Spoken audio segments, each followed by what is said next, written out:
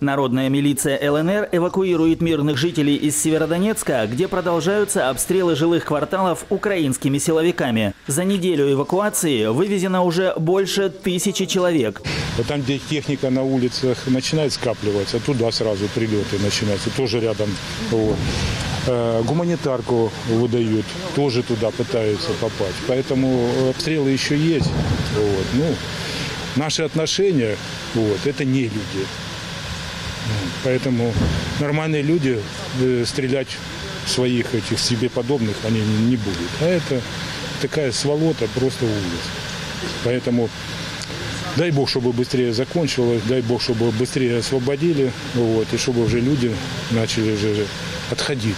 Потому что три месяца под такими вот обстрелами бедные женщины там вообще еле-еле переносят это все дело. Местная жительница Юлия отказывалась эвакуироваться из города на запад Украины в надежде дождаться своего мужа, который добирался к ней из Нового Я Уренгоя. хотела, чтобы за мной приехал муж, а в другую сторону эвакуироваться я не хотела, на Западную Украину, потому что у меня муж находился в России. Поэтому я ждала, пока за мной приедет муж, и потом я буду уже с ним эвакуироваться туда, куда мне нужно, а не туда, куда пришлось и заставляли. Супруг девушки Николай подтвердил, что добирался к семье на обум, так как связь была потеряна еще 2 мая. Страшновато, но все равно за семьей ехал. Представитель народной милиции ДНР рассказал о проведении эвакуации жителей. Каждый день минимум 4 КАМАЗа мы отправляем. Единственная проблема в доставке их именно из домов пункта проживания сюда. А, Сами понимаете, у нас военных машин Урала мы не можем по городу послать, поэтому приходится возить на легковых. Лежачих, стоячих, как-то выкручиваемся, цепляем прицепы, людей все свозим. Вот сейчас 7 человек привезли на легковой машине на прицепе. Загрузили людей сумками, привезли. А, много лежачих, вообще лежачих, которых надо сюда. На данный момент не представляется возможным, у меня нет такого транспорта, которых может быть я сюда лежачих довести.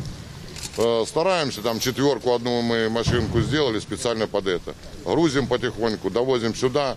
Здесь по возможности сажаем ну, стариков, детей, сажаем в кабины, в КАМАЗы. Остальные все, кто сидячий, на КАМАЗах вывозим до самого Старобельска. Система такая. Сегодня люди приходят, записываются к нам. Э, Непосредственно человек занимается, записывает, назначаем ему время, там, чтобы здесь толпу не создавать, потому что прилеты.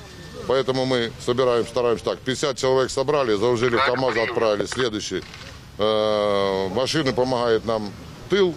Хорошо, КАМАЗы присылает САБМО. Грузим в КАМАЗы, сопровождаем за город, туда выводим на трассу и до Старобельска отвозим на КАМАЗы. Много двухсотых. Мы собираем на легковых машинах их по городу. Это надо свозить, надо похоронить. Это все мы организовали. Есть у нас специально похоронное бюро. Так скажем, не похоронное бюро, но люди, которые занимаются, хоронят людей. Мы э, с местными людьми договорились. Два мужчины взрослые возят, собирают трупы, вывозят, хоронят их все. Много погибших гражданских? Много погибших, много.